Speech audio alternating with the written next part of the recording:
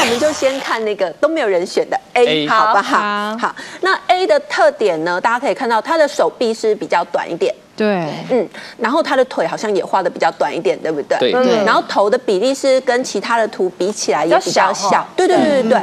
那其实呢，比如说他手臂比较短，其实就是可能他个性是比较退缩的。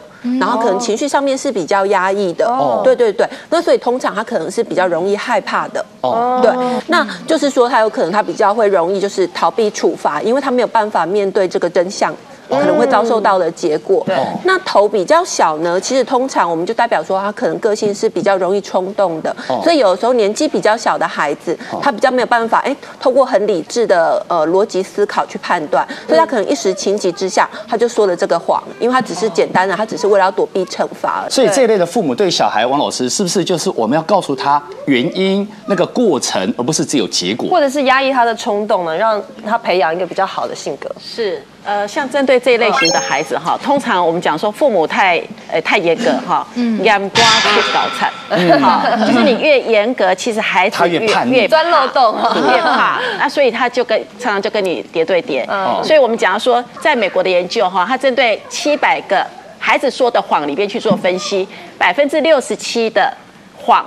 大部分都是害怕被处罚，嗯，哦，或者是怕被嘲笑，哦。哦，哦，或者是怕被拒绝，比如说要出去玩，他说不行，不让你出去，嗯，好，所以我们讲，那处害怕被处罚还是占最多，嗯，那所以我们讲说，回过的回过头来再想想看自己的教养方式是不是出了问题。那所以，反正我们就要像刚刚呃昌明大哥哈讲到，哎，孩子愿意说实话，开诚布公，那你反而他愿意来跟你哈，我们讲说坦诚的相对，先让他跨出那一步啦。是对对对。啊，再来是 B，我选的。哎。好。B，哦，如果是选 B 的话，我们来看一下 哈，这个它几个特色，就是你可以看到它的双臂是交叉在胸前的，对不对？对。对。然后它的眼睛好像在看左边的人，还是看右边的人，对对不对？对啊，就是我平常这样的姿势啊，昌明 哥，是是哦 我就这样看。那我们可以先来讲这个看左边或看右边，嗯。那通常就是在看左边的人或者是右边的人，所以呢可能会比较容易，呃，比如说比较容易猜疑，哦，对，然后或者是说可能会有的时候有一点比较的心态，哦，哎，跟左边的人跟右边的人比比看，哎呦。对，然后有的时候就会想一下，哎，旁边人有的东西，我应该也都要有才对啊。哎，什么呀？你也想要那个领带是吧？比如说可能一直注意到昌明哥，对 对。你，要讲我好紧张哦，然后呢？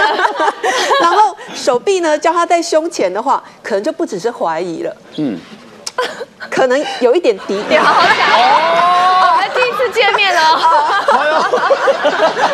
有一点敌意，就是有哪一天他要把我干掉，或者是要 我不敢，超明哥看到旁边的呃不见了这样，会不会呢？对，那这个当然还有另外就是说，可能个性上面比较不服输，也有可能。哦。对，比如说个性比较好强，对对对，所以有的时候是因为这个关系。那如果是反映在小朋友身上的话，可能是小朋友可能比较呃比较容易有虚荣心，哦。对，因为他可能比较重比较，那比较好强，比较不服输。会啦，我觉得真的准啊，因为像我小时候，我哥功课非常非常的好，嗯。嗯，他总是在学校都是第一名，嗯嗯。但是我就没有那么会念书，也没那么爱念书，所以有时候就是针对考卷的部分哦嗯，就会小小的撒一些谎啦，就是分数几分哎呦，然后考第几名，因为我爸妈也不会来检查，他可能就会口头问，然后我就随便撒个谎，哦，还好啦，OK 啦，九十几分啦就过了，但可能只考了六七十分而已哦。已，对。来，那再来是 那我们来看 C 是刚刚糖糖选的这个答案，对不对？嗯，对，是哈，是。对。然后这个图呢，我们可以注意到他的手呢是背在身后的，对对不对？然后他的脚呢，好像相较起来也比其他人细一点，对细对不对？对好，那其实这个呢，我们通常说手背在身后，就代表说，哎。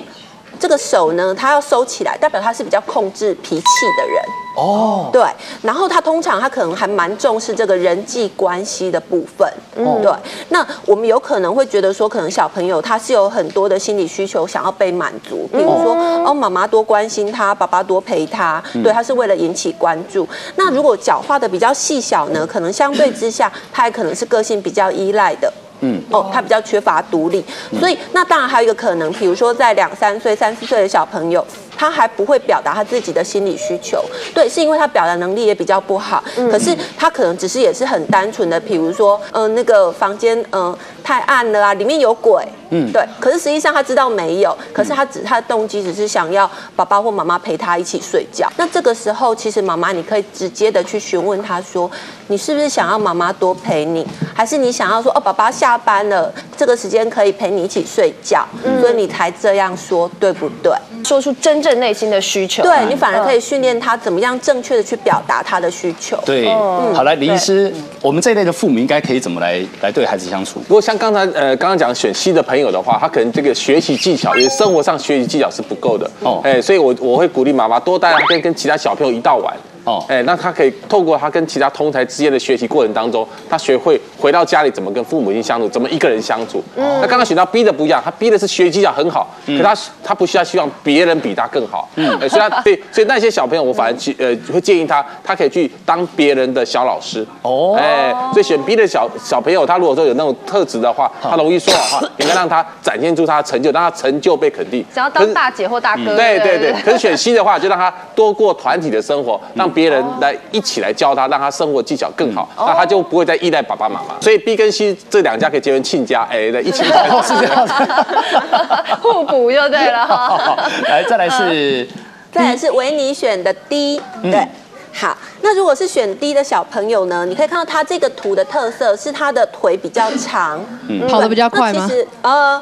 有可能对，所以大部分选这个图的大部分是小男生比较多，对，因为他腿比较长，我选对小的也是选 D 哦，也是腿比较长的，就是有可能呢，他是为了想要争取比较多的自由，哦。哦，比较多的自主权、安全感等等。那通常呢，我们想要多一点自由的时间，大概就是想要多一点玩的时间。哦，所以常常碰到是小男生，比如说他可能他正在家里面打电动、看电视、看卡通，看得正高兴，然后爸爸妈妈回来一回来就问说：啊，你功课写完了没？嗯，哎。他知道他如果写了，对，因为他想要多争取多一点那个玩的时间，对，常常想要往外跑。对，我就先把功课写好，然后告诉我爸妈，这样我就出去打躲避球。哦，嗯，可是小雷他选择的方法就是正确的。对啊，我我真的把我的事情给完成，我就多一点自由的时间。可是有时候小朋友，因为他还没有这么好的控制能力或者是理智判断能力，他就用嗯直接很直接的就说我已经写完了。真的真的，老师，我姨妈觉得准吗？附和一下，附和一下。我大儿子就这样子哦，然后跟我讲说，就连续假期，我想说礼拜五就可以把功课写完。那我那时候可能也在忙了，我就问他说：“哎，你功课写完了没？”他说：“我写完啦。”然后到礼拜一联络部签回来跟我说，老师说没有写功课。嗯。然后他我就问写完了吗？对不对？不是写完了吗？原来好几样，他只写完了一样。对，然后他就是想要跟弟弟妹妹一起玩，他不想要错过那时间。他说周末假日就是全家人团聚，然后出游的好日子。哇，好正面哦！功课放一边了。对他还会他还会拿话术砍我，你知道吗？哦。对他有像是那收收家里，比方好他的房间，然后我就想说这是他的责任，对不对？那我想说，那你去收你的房间，然后。地板上的东西都还是一样，他就收一两样。他说我收完了。嗯，像这样怎么办？那像是听起来他是都在应付妈妈而已。对，这个而且应付的蛮妈妈还能接受，这个是蛮厉害的。的哈。哎呦，这还可以得到你的夸奖。不是，所以这个说反话。不，这个一定要夸奖，就是说，可是这时候如果妈妈跟着小朋友一道收，收到一半，然后再让他示范，妈妈这样收，然后换你收。那示范一次如果不行，示范两次不行，就在家里买一个大型的 LCD，然后把那那个录影带放出来。有，就是拍了之后打算下次。对，那这样的话他就会学哦，原来要放这样，因为他忘掉了。照标准版本啊，对，可以这样。哎，可以这样做，可以这样，因为这样没有妈妈的怒气在里面，他就标准的。看 VCR。哎，这也许是一个方法。对，糖糖好像他会有被被嫁祸的那个故事，是不是？呃，我送他去幼稚园啊，他都会哭，怎么讲他都不肯哦。那我明天早上买麦当劳早餐给你吃，好不好？所以我们现在要特别的去注意的是，他会不会长大之后，当他遇到问题或是遇到没有办法，因为他现在你让他没有路可以选择，他就会用。Oh!